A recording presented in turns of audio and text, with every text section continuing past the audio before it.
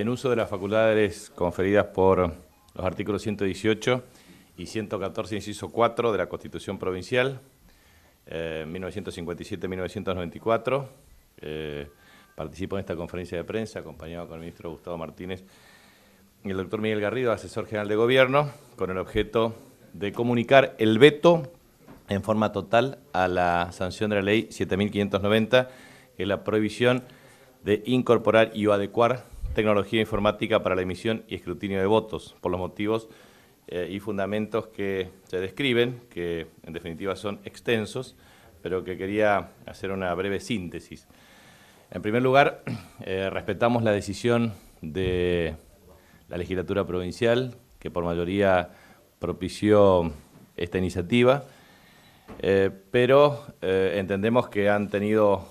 fundamentos sólidos en virtud de la experiencia existente a nivel internacional. Por eso, eh, nosotros podemos tener una clasificación de países con implantación de voto electrónico, países en estudio en la implantación o con implantación parcial de voto electrónico y también países con voto electrónico legalmente prohibido o paralizado. El caso concreto, y que creo que eh, muchos han esgrimido, como el caso del diputado Ricardo Sánchez y también la diputada Beatriz eh, Bogado, con sólidos fundamentos de carácter argumentativo, han planteado claramente que en el caso de la República de Alemania, eh, precisamente han establecido un criterio metodológico a partir de un fallo del Tribunal Constitucional, declarando la inconstitucionalidad del uso del voto electrónico. No obstante lo cual, eh, también Finlandia decidió no continuar con la votación electrónica en el año 2010.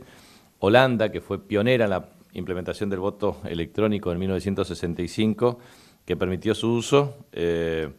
y en el año 2006 un equipo de investigación develó los problemas de inconsistencia y fallas de inseguridad, lo mismo que en el caso de Irlanda y Reino Unido. Por lo tanto, eh, hemos tomado esta decisión eh, por el veto total